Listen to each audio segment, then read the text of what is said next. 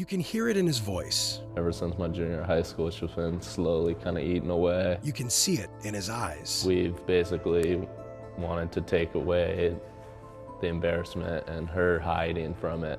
Braden Bishop is scared. It's life changing. Um, I mean, it changes her life, it changes my dad's life, my brother's life, and also my own.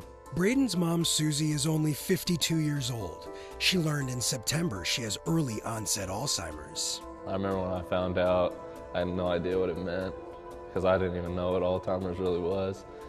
Uh, I knew that it definitely occurred in older people, but uh, in somebody 52, it's, it's very rare. According to the Alzheimer's Association, early onset affects fewer than 5% of the 5 million Americans with the disease. My biggest fear is that one day she's going to forget who I am, who my brother is. Um, that's the scariest part for me. Braden won't forget. He makes sure of it every day.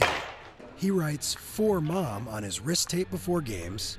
You can also find the message on his cleats and hat. Whether it's raining outside and I don't have the motivation to get out there, I can always find something when I see it.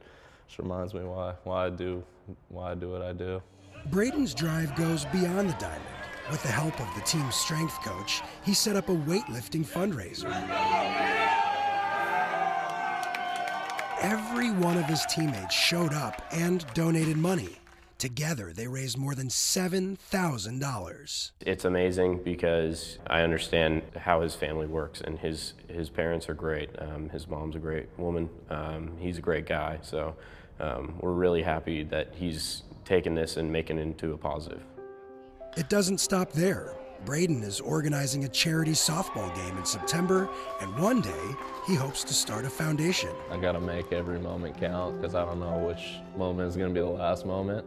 Um, so I, I think just taking it just one step at a time and, and being with her as much as I can and just making the most of every minute I have with her.